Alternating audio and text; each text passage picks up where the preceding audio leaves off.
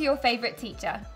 Today we'll be looking at a brief plot summary and introducing you to some of the context behind possibly the best known love story of all time Shakespeare's Romeo and Juliet.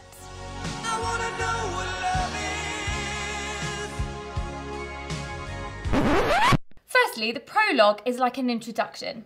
It gives the audience a brief summary of what's going to come in the play. It really needs a spoiler alert. So, we learn that two families, Capulets and Montagues, have a long running family feud, which rears its ugly head when one teenager from each family ends up falling in love. We also learn that they will commit suicide as a result of becoming entangled in this feud. Only after the suicide do the families realise what they've done and end the feud. Based on this alone, we can ask the audience is this going to be a play about love or hate? Act 1. Act 1 opens with a fight between the two families, stopped by the prince.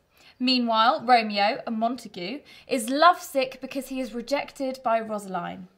He tells his best friend Benvolio that he will never love again and he's heartbroken. Over at the Capulets, Paris asks Lord Capulet if he can marry his daughter Juliet. Capulet says he will think about it. They throw a ball later that night. Romeo and Benvolio decide to gatecrash the party, and Romeo meets Juliet. At this point, he forgets his love for Rosaline and decides he loves Juliet instead. I know, typical man, right? The pair end up kissing without realising who their families are. They find this out later. Brutal. Act 2.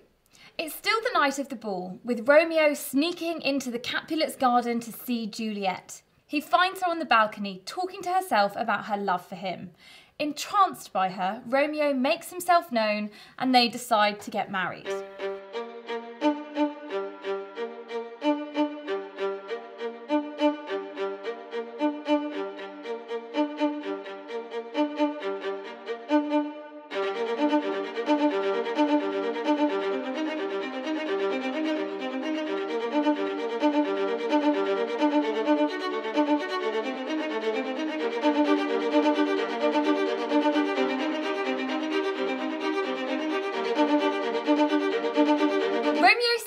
From Friar Lawrence, who agrees. He sends word to Juliet through her nurse and they get married that afternoon in secret.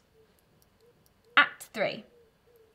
At the start of Act 3, there's another fight between the Capulets and the Montagues.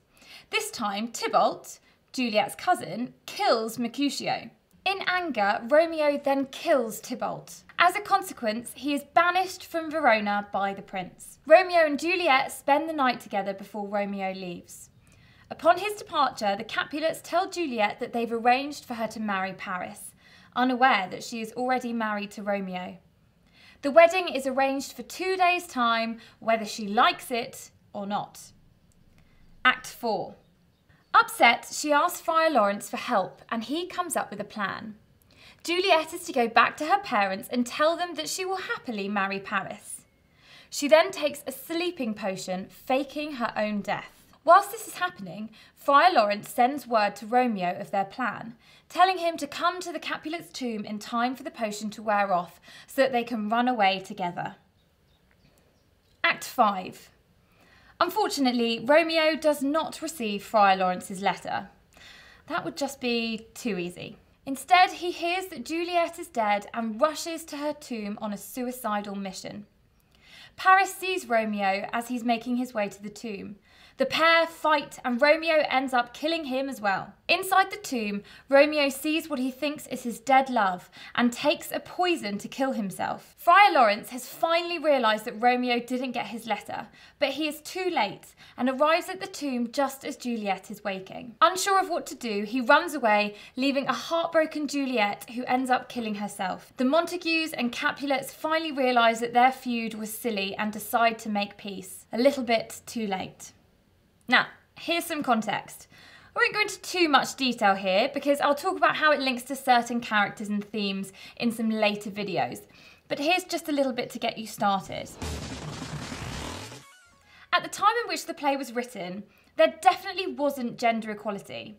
Females were meant to be passive and accepting, so Juliet refusing to marry Paris and disobeying her parents was a really big deal. Also, Juliet was only 13 at the time, which was a normal age for women to marry. Violence was fairly normal for men. The more violent they were, the more they were praised. And finally, wealthy families often had nurses to look after the children. They became like a second mother to them, seeing as their biological ones were out enjoying themselves at parties. As I said, there will be more context as I talk through some key characters and themes, but for now, this video should help you establish a firm understanding of the plot and the initial context. I'm Miss Meeks, thanks for watching.